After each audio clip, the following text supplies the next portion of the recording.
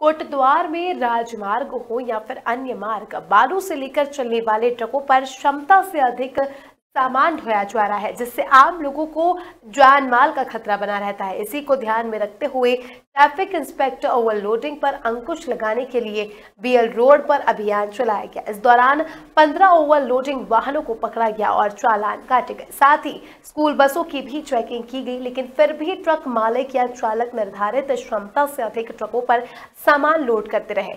इस दौरान traffic inspector Shiv Kumar ने कहा कि सड़क सुरक्षा के अधिनियम के तहत किसी भी दशा में ओवरलोडिंग नहीं होने दी जाएगी। कोटद्वार से राजेंद्र खंतवाल की रिपोर्ट।